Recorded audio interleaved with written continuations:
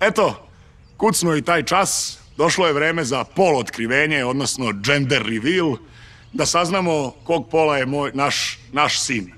Ljubavi, hvala ti što ćeš da mi rodiš prelepog, zdravog, pravog sina. Prvo pa muško što se kaže, eto, jer zna se da ja samo mušku decu pravim. Eto, sad ćemo preći na bušenje. Ja ovo ne Hvala- mogu da radim. Ja, e, ja nisam ni trudna. Ja sam se porodila pre 20 dana. Molim te, nemoj da me sramotiš pred rodbinom, ja te molim. Kom rodbinu?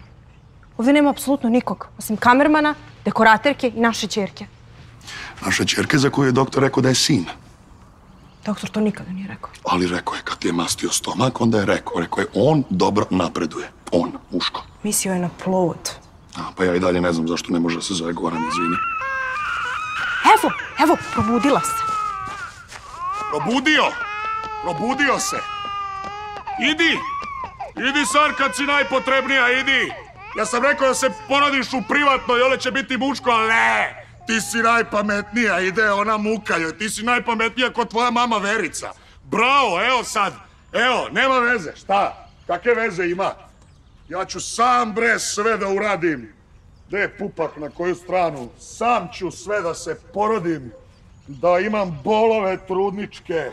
Da mi onaj epidural stavljaju. Ja ću sam bre sebi da rodim sina kad ti nisi sposobna za to. On da rađa. On da brani. Sve on. Još očevi rađaju obiliće. E, Hvala svima ljudi koji ste došli. Kao što vidite, nažalost, sve na kraju padne na muška pleća jadna. Eto sad pa da se zna, sada ćemo da probušimo, da vidimo, da odnosno da potvrdimo. Sina mog, tri, dva, jedan... Ja sam rekao bre!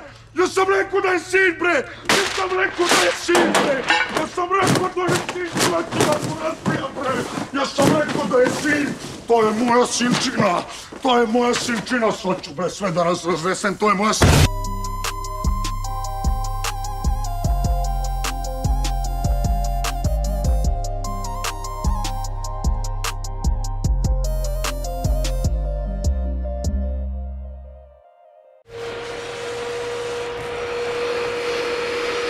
Imaš još ovdje levo.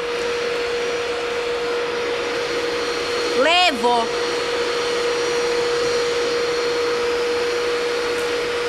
Levo.